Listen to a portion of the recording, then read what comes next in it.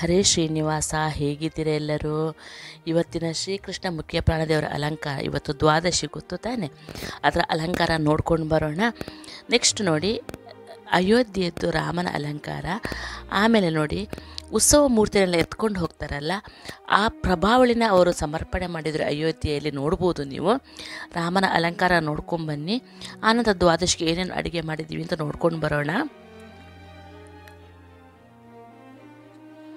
ಎಷ್ಟು ಮುದ್ದಾಗಿ ಕಾಣ್ತಿದ್ದಾನಲ್ವಾ? ತುಂಬ ರಶ್ ಇದೆಯಂತೆ ಈಗ. ಆ ದ್ವಾದಶಿ ಪಾರಣೆಗೆ ಇಡ್ಲಿ, ಆಮೇಲೆ ಏನೆಲ್ಲ ಮಾಡಿದೆ ದ್ವಾದಶಿ ಪಾರಣೆಗೆ ನೋಡ್ಕೊಂಡು ಬರೋಣ. ಇಡ್ಲಿ, ಚಟ್ನಿ, ಕೋಸಂಬರಿ, ಸಾರು, ಕೇಸರಿ ಎಲ್ಲ ಮಾಡಿದ್ದೆ. ಈ ಬನ್ಸಿ ರವೆ ಬರುತ್ತಲ್ವ? ಅದನ್ನ ನೋಡಿ ಅಕ್ಕಿ ಇದ್ರ ಇದರಲ್ಲಿ ಸುತ್ತಿ ಕಾಟನ್ ಬಟ್ಟೆಯಲ್ಲಿ ಸುತ್ತಿ ಸ್ಟೀಮಲ್ಲಿ ಬೇಯಿಸಬೇಕು. ಒಂದು ಸ್ವಲ್ಪ ಹೊತ್ತು ಒಂದು ಹತ್ತು ನಿಮಿಷ ಬೇಯಿಸಿದರೆ ಸಾಕು. ಆನಂತರ ಅದನ್ನ ಓಪನ್ ಮಾಡಿಟ್ಟು ತಣ್ಣಗಾಗಲಿಕ್ಕೆ ಬಿಡಬೇಕು. ಅಷ್ಟೊತ್ತಿಗೆ ನಾನಿಲ್ಲಿ ಅದಕ್ಕೆ ಬೇಕಾದಂಥ ಉದ್ದಿನ ಬೇಳೆನ ನೆನೆಸಿಟ್ಟಿದ್ದೀನಿ. ಇಡ್ತಾ ಇದ್ದೀನಿ ನೋಡಿ ಈಗ.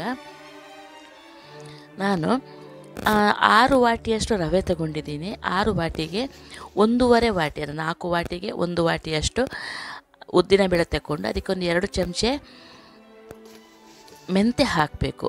ಅಂದರೆ ಒಂದಕ್ಕೆ ನಾಲ್ಕು ಅಂತ ಲೆಕ್ಕ ಅಳತೆ, ಒಂದು ಉದ್ದಿಗೆ ನಾಲ್ಕು ರವೆ, ಒಂದು ಎರಡು ಚಮಚೆ ಮೆಂತೆ, ಅರ್ಧ ಕಪ್ಪಷ್ಟು ಅವಲಕ್ಕಿ, ಅಂದರೆ ಒಂದು ಹಿಡಿ. ಅವಲಕ್ಕಿ ತಗೊಂಡು ಎಲ್ಲನೂ ತೊಳೆದು ನೆನೆಸಿಟ್ಬಿಡಿ. ಅದು ತುಂಬ ಇಂಪಾರ್ಟೆಂಟ್ ನೆಂದ ಆ ಬೇಳೆ ನೀರಲ್ಲಿ ತುಂಬ ಉದ್ದು ಚೆನ್ನಾಗಿ ಒದಗಿ ಬರುತ್ತೆ ಅಂತ ಲೆಕ್ಕ.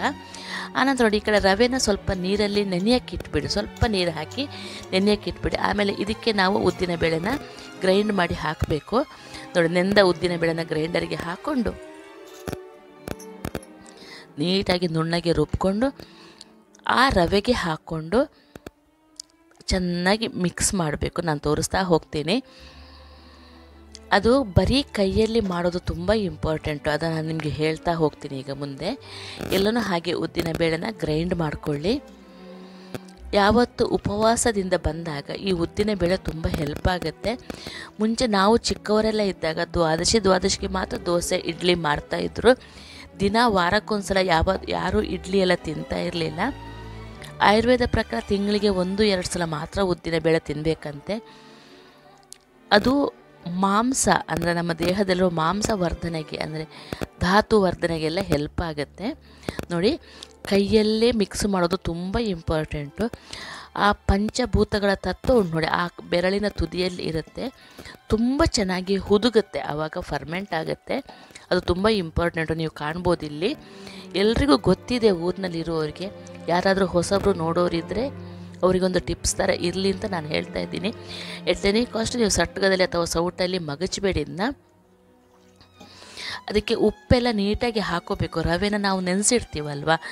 ಸ್ಟೀಮ್ ಮಾಡಿದ ರವೆನ ಆವಾಗಲೇ ಉಪ್ಪು ಅದಕ್ಕೆ ಹಾಕಿಟ್ಕೊಬೇಕು ಆನಂತರ ನೋಡಿ ಗ್ರೈಂಡ್ ಮಾಡಿದ ಮಿಕ್ಸರ್ ಜಾರಲ್ಲಿ ಅಂಟ್ಕೊಂಡಿರುತ್ತೆ ನೋಡಿ, ಉದ್ದಿನ ಬೇಳೆ ಎಲ್ಲ.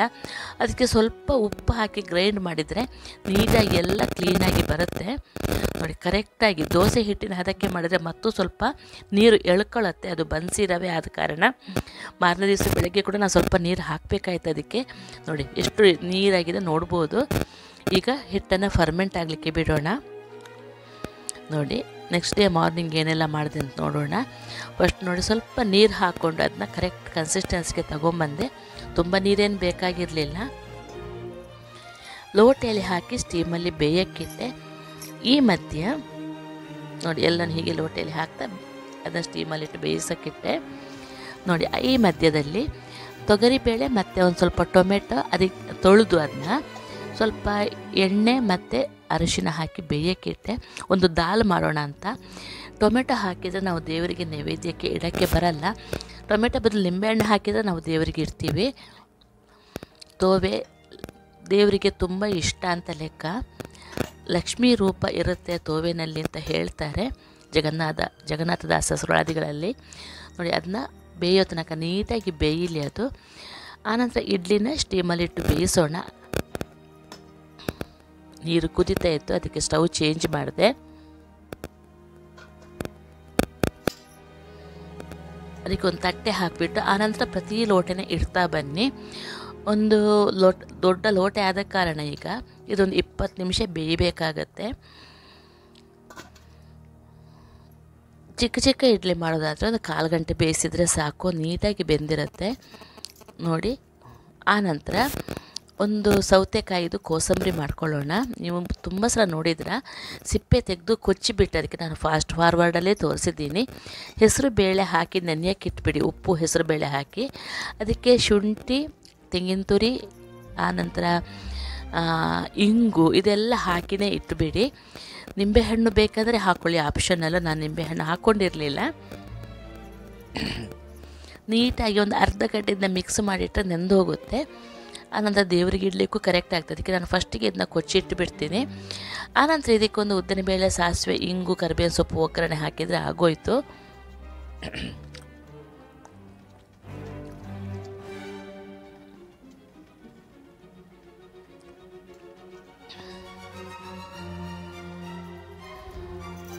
ನೋಡಿ. ಅದಕ್ಕೆ ನೋಡಿ ತೊ ಹೆಸರು ಬೇಳೆನ ತೊಳೆದು ಹಾಕಬೇಕು. ಆನಂತರ ಉಪ್ಪು, ನಾನು ಹೇಳಿದ್ನಲ್ಲ, ಉಪ್ಪು ಹಾಕಿದರೆ ಸೌತೆಕಾಯಿ ನೀರು ಬಿಟ್ಕೊಳ್ಳುತ್ತೆ ಆವಾಗ ಹೆಸರು ಬೇಳೆ ನೀಟಾಗಿ ನೆಂದುಕೊಳ್ಳುತ್ತೆ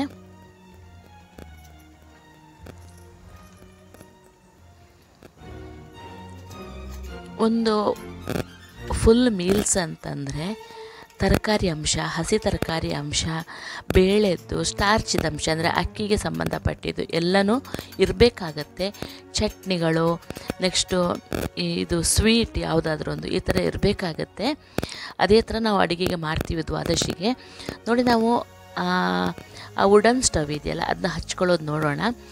ತಳಕ್ಕೆ ಅದರದ್ದು ತೆಂಗಿನಕಾಯಿ ಚಿಪ್ಪು, ಆನಂತರ ಇದ್ದಿಲು ಹಾಕ್ಕೊಂಡಿದ್ದೀನಿ ಇದ್ದಿಲು ಹಾಕ್ಕೊಂಡು ತೆಂಗಿನಕಾಯಿ ಗರಿಯಿಂದ ಸುಡ್ತಾ ಬನ್ನಿ ಅದನ್ನ ನಾನು ಮುಂಚೆಲ್ಲ ಡೀಸೆಲಿಂದ ಮಾಡ್ತಾಯಿದ್ದೆ ನೋಡಿ, ಈಗ ತೆಂಗಿನಕಾಯಿ ಗರಿಯಿಂದ ಮಾಡಲಿಕ್ಕೆ ಸ್ಟಾರ್ಟ್ ಮಾಡಿದ್ದೀನಿ.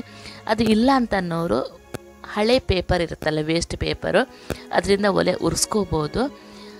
ಆನಂತರ ನೋಡಿ, ಅಷ್ಟೊತ್ತಿಗೆ ಬ್ಲೋವರು ನಾವು ಇಡಬೇಕಾಗತ್ತೆ. ಅಷ್ಟೊತ್ತಿಗೆ ಬೆಂಕಿ ಆರಿ ಹೋಯ್ತು. ನಾನು ನಂತರ ಪೇಪರ್ ಹಚ್ಚಿಕೊಂಡು ನಾನು ಇದು ಉರಿಸ್ಕೊಂಡೆ. ಚಿಕ್ಕ ಚಿಕ್ಕ ಕಟ್ಟಿಗೆ ಇದ್ರೆ ಹಾಕಿದರೆ ನೀಟಾಗಿ ಉರ್ಕೊಳ್ಳುತ್ತೆ, ಏನು ತೊಂದರೆ ಇಲ್ಲ. ಮತ್ತೊಂದು ಏನು ಗೊತ್ತಾ, ನಿಮ್ಮ ಹತ್ರ ಸುಟ್ಟೆಣ್ಣೆ ಇದ್ದರೆ ತಳದಲ್ಲಿ ಸ್ವಲ್ಪ ಗಸಿ ಥರ ನಿಂತಿರುತ್ತಲ್ಲ ವೇಸ್ಟು ಅದನ್ನು ಈ ಒಲೆಗೆಲ್ಲ ಹಾಕ್ಬೋದು. ಸ್ಟಾರ್ಟ್ ಮಾಡುವಾಗ ತುಂಬ ಬೇಗ ಉರ್ಕೊಳ್ಳುತ್ತೆ ಆವಾಗ.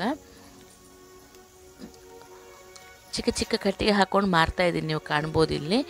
ಒಂದು ಎರಡು ಮೂರು ಸಲ ಈ ಥರ ಒಂದೊಂದು ಸಲ ಹಚ್ಚಿ ಹಚ್ಚಿ ಇಟ್ಟ ತಕ್ಷಣ ಅದು ಆಗಿಬಿಡತ್ತೆ. ಆನಂತರ ನಾನು ಇದರಲ್ಲಿ ದೇವರ ನೈವೇದ್ಯಕ್ಕೆ ಮತ್ತು ಗಂಜಿಗೆ ಇಟ್ಟೆ. ನೈವೇದ್ಯ ಮಾಡಿ ಅದರಲ್ಲೂ ಸ್ವಲ್ಪ ಅಕ್ಕಿ ತೆಗೆದು ಗಂಜಿ ಮಾಡಿದೆ. ಅದನ್ನು ನಾನು ಡೀಟೇಲಾಗಿ ತೋರಿಸಿಲ್ಲ ಇವತ್ತು. ತುಂಬ ಸಲ ತೋರಿಸಿದ್ನಲ್ಲ ನಾನು ದ್ವಾದಶಿ ವೀಡಿಯೋಗಳಲ್ಲಿ. ಅದು ಕಾರಣ ಇವತ್ತು ಜಾಸ್ತಿ ತೋರಿಸಿಲ್ಲ.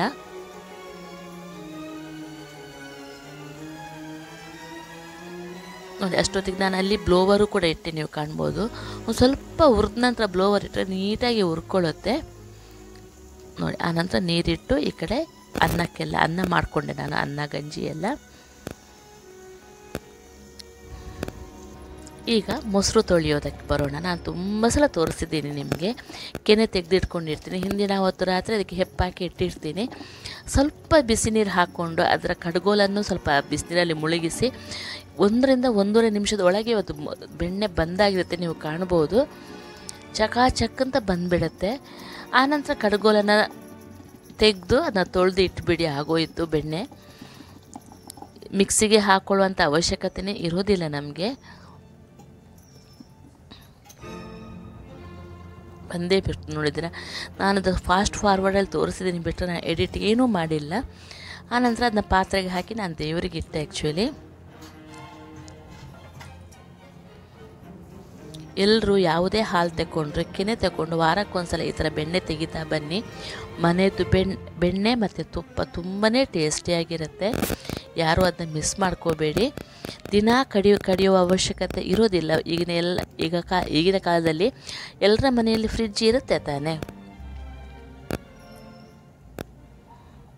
ನೋಡಿ ಆನಂತರ ಸ್ವಲ್ಪ ಅದಕ್ಕೆ ನೀರು ಹಾಕಿ ನೀರು ಇದ್ದದ್ರೆ ನೀರು ತೆಗೆದು ಬೆಣ್ಣೆದ್ದು ಇನ್ನೊಂದು ಸ್ವಲ್ಪ ಫ್ರೆಶ್ ನೀರು ಹಾಕಿ ಸ್ವಲ್ಪ ಕ್ಲೀನ್ ಮಾಡ್ಕೊಳ್ಳಿ. ಅದರ ಮಜ್ಜಿಗೆ ಅಂಶ ಎಲ್ಲ ಹೋಗಬೇಕು. ನೋಡಿ, ನಾನು ಮೊನ್ನೆ ಶನಿವಾರ ಆ್ಯಕ್ಚುಲಿ ಮೊಸರು, ಇದು ಕೆನೆ ಅದನ್ನ ತೆಗ್ದು ಕೆನೆಯಿಂದ ಬೆಣ್ಣೆ ತೆಗೆದಿದ್ದೆ ನೋಡಿ, ಇವತ್ತು ಶನಿವಾರ ನಾಲ್ಕೈದು ದಿವಸಕ್ಕೆ ನೋಡಿ ಎಷ್ಟು ಬೆಣ್ಣೆ ಬಂದಿದೆ ಅಂತ. ಒಂದೇ ಲೀಟ್ರ್ ಹಾಲು ತಗೊಳ್ಳೋದು ನಾವು. ಅಷ್ಟೊತ್ತಿಗೆ ಇಡ್ಲಿ ಬೆಂದಾಯಿತು. ನೋಡಿ, ಆವಾಗ ಈಗ ಸಾರನ್ನು ಬೇಳೆನ ನೀಟಾಗಿ ಸ್ಮ್ಯಾಶ್ ಮಾಡ್ಕೊಳ್ಳಿ. ಅದರಲ್ಲಿರೋ ಟೊಮೆಟೊನ ಸಿಪ್ಪೆ ತೆಗೆದು ಅದನ್ನೂ ಸ್ಮ್ಯಾಶ್ ಮಾಡ್ಕೊಳ್ಳಿ. ಆನಂತರ ಕಾಯಿ ಮೆಣಸು ಶುಂಠಿ, ಇಂಗು, ಉಪ್ಪು ಇದೆಲ್ಲ ಹಾಕ್ಕೊಳ್ಳಿ ನಿಮಗೆ ಅನುಕೂಲಕ್ಕೆ ಎಷ್ಟು ಬೇಕೋ ಅಷ್ಟು. ನೆಕ್ಸ್ಟು ಸ್ವಲ್ಪ ದಪ್ಪ ಪಾರ್ಟ್ ಕೊತ್ತಂಬರಿ ಸೊಪ್ಪು ಇರುತ್ತಲ್ಲ ಅದನ್ನ ಹಾಕಿ ಕುದಿಸ್ಕೊಳ್ಳಿ. ನೆಕ್ಸ್ಟ್ ಎಲ್ಲ ಕುದ್ದ ನಂತರ ಒಗ್ಗರಣೆ ಹಾಕೋಷ್ಟೊತ್ತಿಗೆ ಅದನ್ನ ಎಳೆ ಎಳೆ ಚಿಗುರಿರುತ್ತಲ್ವ ಹಸಿದು ಅದನ್ನ ಹಾಕ್ಕೊಳ್ಳಿ ನೋಡಿ ನೋಡಿ, ಇದು ಟೊಮೆಟೊ ಸಿಪ್ಪೆ ತೆಗಿಬೇಕು. ಸ್ವಲ್ಪ ಬಿಸಿ ಇತ್ತು, ಅದಕ್ಕೆ ಸ್ವಲ್ಪ ನೀರು ಹಾಕ್ಕೊಂಡು ತೆಗೆದೆ ನಾನು. ಆನಂತರ ನೀಟಾಗಿ ಸ್ಮ್ಯಾಶ್ ಮಾಡಿಕೊಂಡು ಅದಕ್ಕೆ ಎಲ್ಲನೂ ಹಾಕ್ಕೊಳ್ಳಿ.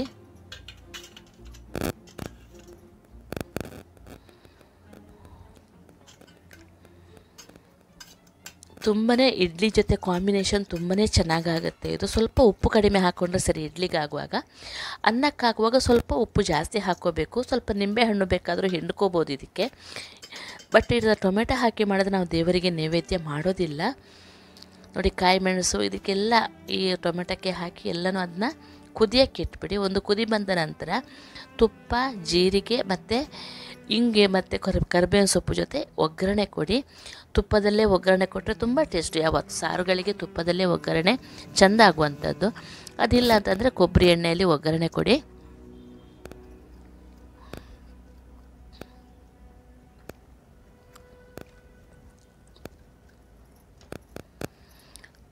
ಆ್ಯಕ್ಚುಲಿ ಶುಂಠಿನ ಸಿಪ್ಪೆ ತೆಗೆದು ತುರಿದು ಇದಕ್ಕೆ ಹಾಕ್ತಾ ಇದ್ದೆ ನಾನು. ಜೊತೆಗೆ ಕೋಸಂಬರಿ ಇತ್ತಲ್ಲ, ಅದಕ್ಕೂ ಸ್ವಲ್ಪ ಶುಂಠಿ ಹಾಕ್ಕೊಂಡೆ ತುರಿದು ಹಾಕ್ಕೊಂಡ್ರೆ ಬಾಯಿಗೆ ಸಿಗೋದಿಲ್ಲ, ಕಿರಿಕಿರಿ ಮಾಡ್ತಾರೆ, ಬಾಯಿಗೆ ಸಿಕ್ಕಿದರೆ ಶುಂಠಿ. ಕೆಲವರಿಗೆ ಇಷ್ಟ ಆಗೋದಿಲ್ಲ. ಈ ಥರ ತುರಿದು ಹಾಕೋದ್ರಿಂದ ಬಾಯಿಗೂ ಸಿಗೋದಿಲ್ಲ.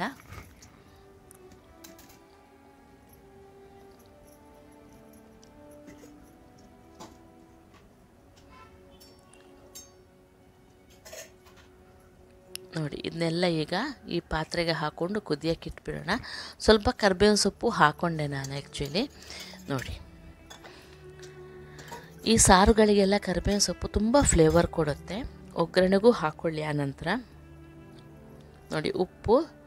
ಇದಕ್ಕೆ ಬೆಲ್ಲ ಹಾಕಲೇಬೇಡಿ, ಚೆಂದಾಗೋದಿಲ್ಲ ಇದಕ್ಕೆ ಬೆಲ್ಲ. ಉಪ್ಪು ಮತ್ತು ಇಂಗು ಹಾಕಿ ಕುದಿಯೋಕೆ ಇಟ್ಬಿಡಿ. ಆನಂತರ ಕೊನೆಗೆ ಇನ್ನೂ ಸ್ವಲ್ಪ ಕೊತ್ತಂಬರಿ ಸೊಪ್ಪು ಹಾಕ್ಕೊಳ್ಳಿ ದಂಟಿನ ಅಂಶ ಈಗ ಕುದಿಯುವಾಗ ಹಾಕ್ಕೊಳ್ಳಿ ನೋಡಿ, ದಂಟಿನ ಅಂಶ. ಫ್ರೆಶ್ ತುದಿದಿರುತ್ತಲ್ವ? ಅದನ್ನ ಕೊನೆಗೆ ಹಾಕ್ಕೊಳ್ಳಿ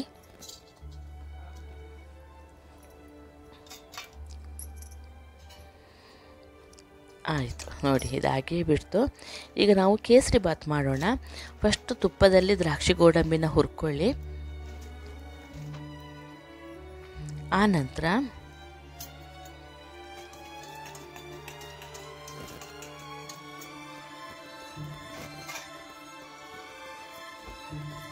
ಅದೇ ತುಪ್ಪದಲ್ಲಿ ಸ್ವಲ್ಪ ಒಂದು ಕಪ್ಪಿನಷ್ಟು ರವೆನ ಹುರ್ಕೊಂಡಿದ್ದೀನಿ ನಾನು.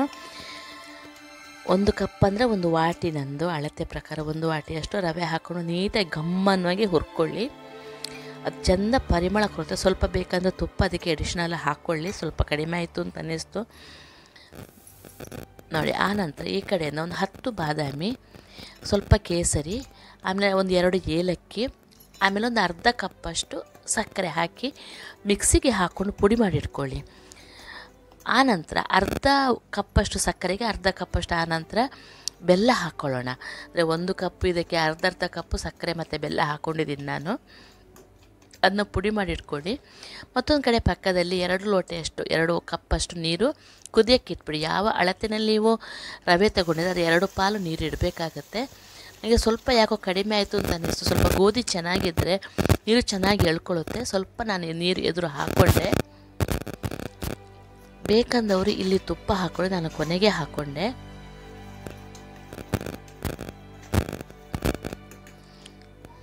ಸ್ವಲ್ಪ ಮುಚ್ಚಿ ಬೇಯಿಸಿರ್ಬೇಕು ಒಂದು ನಿಮಿಷ.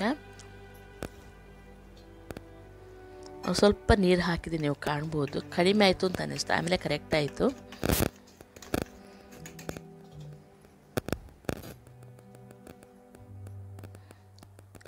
ಆನಂತರ ಈಗ ನಾವು ಗ್ರೈಂಡ್ ಮಾಡಿದ್ವಲ್ವ? ಗ್ರೈಂಡ್ ಮಾಡಿ ಪುಡಿ ಮಾಡಿ ಇಟ್ಕೊಂಡ್ವಲ್ಲ ಅದನ್ನ ಹಾಕ್ಕೊಳ್ಬೇಕು ಆನಂತರ ಅರ್ಧ ಕಪ್ ಬೆಲ್ಲ, ತುಪ್ಪ ಇದನ್ನ ಹಾಕ್ಕೊಂಡು ನೀಟಾಗಿ ಮಗಚ್ಕೊಳ್ಳಿ. ಒಂದು ಚಿಟಿಕೆ ಉಪ್ಪು. ನೀರು ಹಾಕ್ಕೊಂಡಾಗಲೂ ಹಾಕ್ಕೋಬೋದು ಅಥವಾ ಈಗಲೂ ಹಾಕ್ಕೋಬೋದು ಒಂದು ಚಿಟಿಕೆ ಉಪ್ಪು ಹಾಕಿದರೆ ಸ್ವೀಟ್ ಇದು ಟೇಸ್ಟ್ ತುಂಬ ಚೆನ್ನಾಗಿರುತ್ತೆ. ಸ್ವಲ್ಪ ಕಡಿಮೆ ಸಕ್ಕರೆಯಲ್ಲೇ ನಾವು ಇದನ್ನ ಸುಧಾರಿಸ್ಬೋದು ಆವಾಗ ಇದನ್ನ ಒಂದು ಐದು ನಿಮಿಷ ತನಕ ಮಗ್, ಮಗಚಬೇಕು. ನೋಡಿ, ಅದು ನೀರು ಹಾಕ್ತಾ ಬಂತು ಈಗ ಪುನಃ. ಅದು ಐದು ನಿಮಿಷ ಮಗಚಿದ್ರೆ ಆಗ್ಬಿಡುತ್ತೆ. ಸ್ವಲ್ಪ ಒಂದೇ ಇದಕ್ಕೆ ಕನ್ಸಿಸ್ಟೆನ್ಸಿಗೆ ಬರುತ್ತೆ. ಉಂಡೆ ಥರ ಕನ್ಸಿಸ್ಟೆನ್ಸಿಗೆ ಬಂದಾಗ ನಾವು ಅದಕ್ಕೆ ಅವ, ಅದು ಸ್ಟವ್ ಆಫ್ ಮಾಡ್ಬೋದು.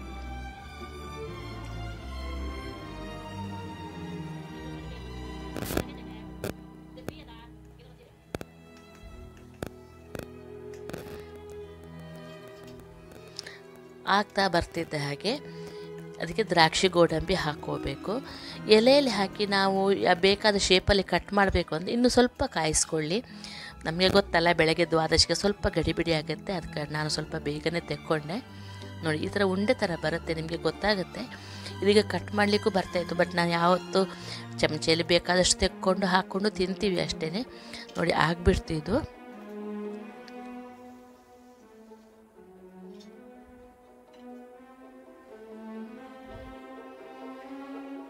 ಈಗ ನೋಡಿ ಚಟ್ನಿಗೆ ರೆಡಿ ಮಾಡ್ಕೊಳ್ಳೋಣ. ತಿಮ್ಮರೆ ಚಟ್ನಿಗೆ. ತಿಮ್ಮರೆ ಉಪ್ಪು, ಹುಳಿ, ಇಂಗು, ಆನಂತರ ಸ್ವಲ್ಪ ನಾನು ಕರಿಬೇವಿನ ಸೊಪ್ಪು ಹಾಕ್ಕೊಂಡೆ. ತೆಂಗಿನಕಾಯಿ ಜೊತೆ ರುಬ್ಬಿಟ್ಟು ಸಾಸಿವೆ ಉದ್ದಿನಬೇಳೆ ಒಗ್ಗರಣೆ ಕೊಟ್ಟರೆ ಚಟ್ನಿ ಆಗೋಯಿತು. ಗ್ರೈಂಡ್ ಫ್ರಿಜ್ಜಲ್ಲಿ ಇಟ್ಟ ಕಾರಣ ತೆಂಗಿನಕಾಯಿ, ಕಾಯಿ ಆದ ಕಾರಣ ಸ್ವಲ್ಪ ಬಿಸಿನೀರು ಹಾಕ್ಕೊಂಡೆ ನಾನು. ನೋಡಿ ಉದ್ದಿನಬೇಳೆ ಸಾಸಿವೆ ಎಲ್ಲ ಹಾಕ್ಕೊಂಡ್ರೆ ಒಗ್ಗರಣೆ ರೆಡಿ ಆಗುತ್ತೆ. ಚಟ್ನಿಗೆ ಕೋಸಂಬರಿಗೆಲ್ಲ ಈ ಒಗ್ಗರಣೆ ಹಾಕ್ಕೊಳ್ಬೇಕು.